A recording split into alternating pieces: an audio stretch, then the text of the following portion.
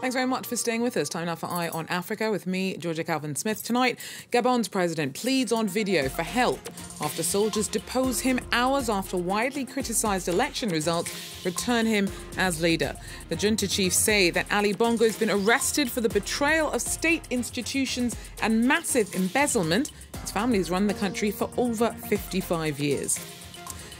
And to mark the International Day of the Disappeared, the African Union and Red Cross consider ways to reduce the sometimes fatal risks faced by African migrants, thousands of whom disappear without a trace on the way, as they're particularly vulnerable to unlawful detention, arrest, or abduction.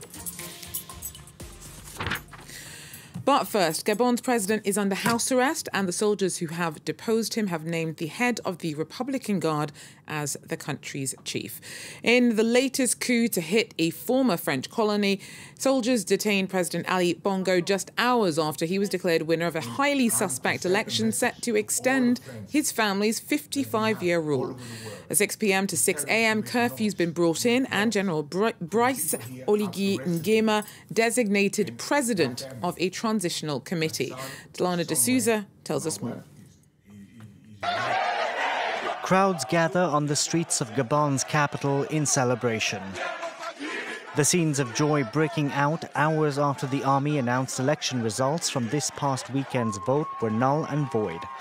The president, who earlier was declared the winner, securing a third term, released a video from house arrest.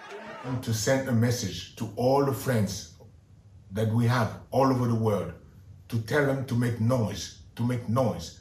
For the people here have arrested me. I'm in the residence, and nothing happening. Nothing is happening. Away from the presidential palace, the coup leader was celebrated by fellow soldiers. Wednesday began with an announcement from members of the army who said they had decided to defend peace by putting an end to the Bongo regime.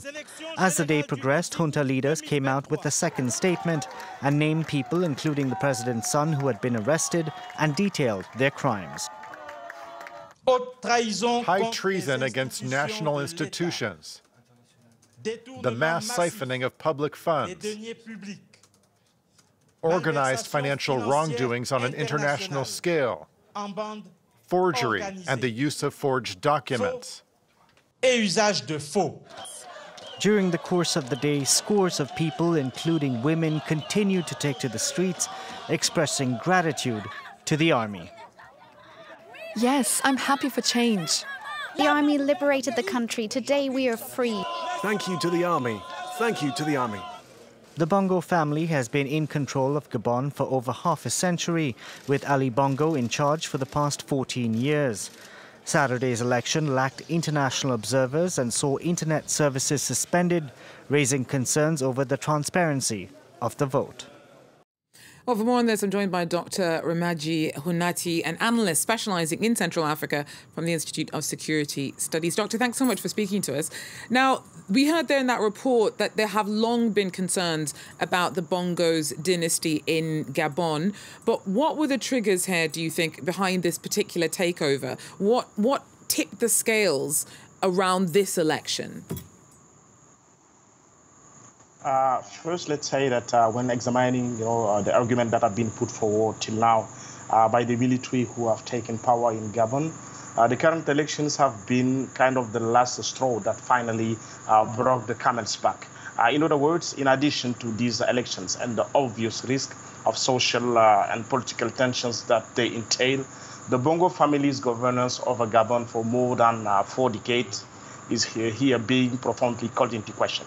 Uh, indeed, under Bongo's father, uh, Bongo the father, the economy, uh, economic upturn in Gabon mask in a way the shortcomings of a system uh, that have been considered by some uh, to be authoritarian and clientelistic.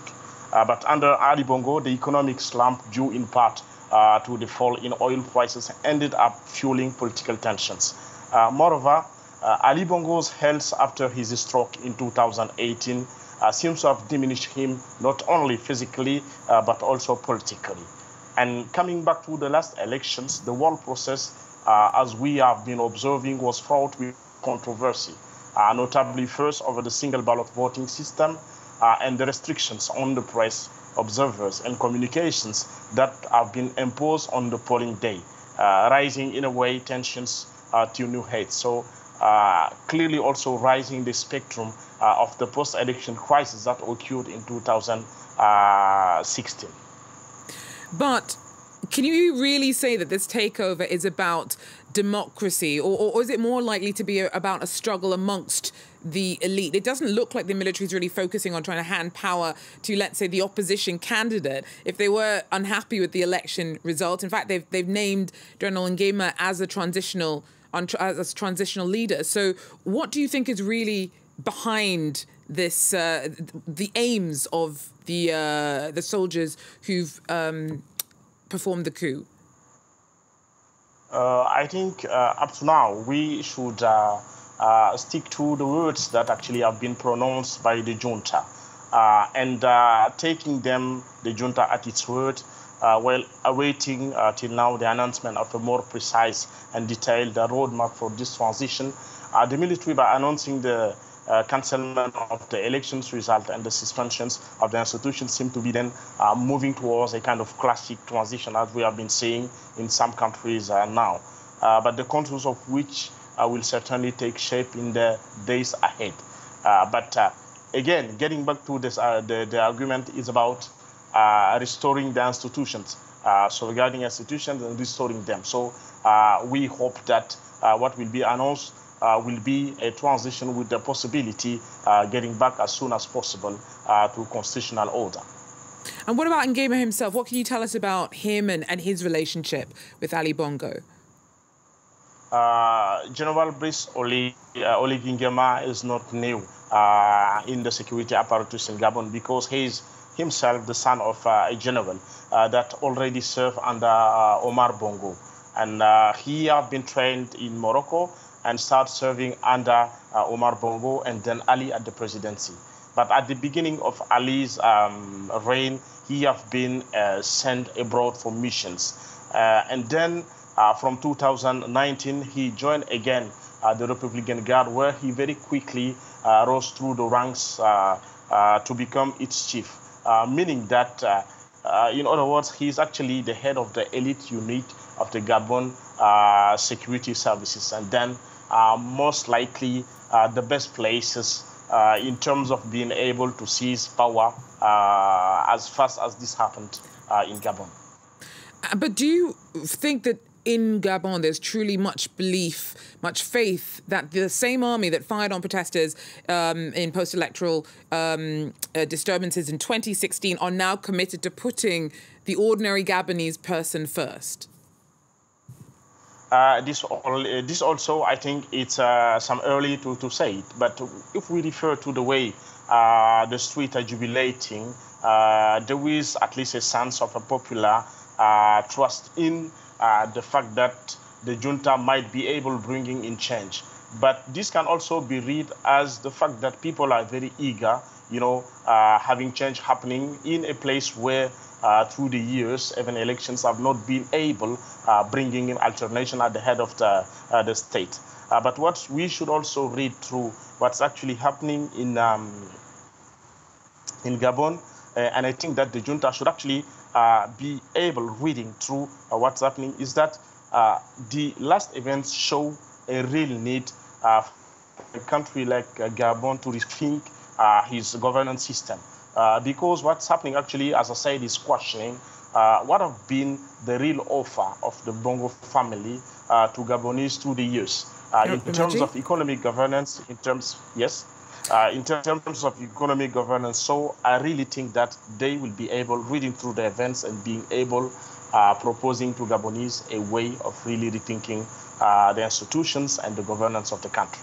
Thank you so much. Uh, Remadji Hoinathy there, the researcher from the uh, International, uh, International Security Institute for Security Studies there, speaking to me from Chad.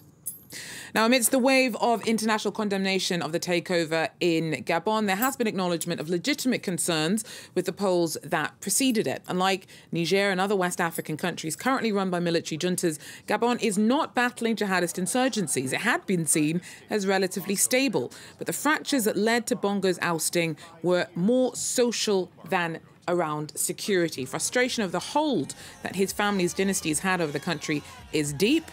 Bongo's served two terms since coming to power after the death of his father in 2009, who himself ran the country for 41 years. Soldiers have called Bongo's governance unpredictable and irresponsible, and several members of his family are also in the firing line. Coup leaders were quick to target some of the elite closest to him during the takeover. Have a look. The following individuals have been arrested, particularly for high treason against the state institutions. They are Noureddin Bongo Valentin, Ian Ghislain Ngoulou, Jessye Ella Ekogha. They are some within President Ali Bongo Ondimba's inner circle facing serious accusations. Among the charges, treason, embezzlement, forgery, drug trafficking, and active corruption. Firstly, Noureddin Bongo Valentin, the eldest son and so called heir of the Bongo dynasty. From 2019 to 2021, he worked as general coordinator for presidential affairs before being dismissed from the post in September 2021. In March 2022, he was appointed strategic advisor to Ali Bongo within the Gabonese Democratic Party one year before the presidential elections. At the time, the opposition denounced the planned dynastic succession at the top of state.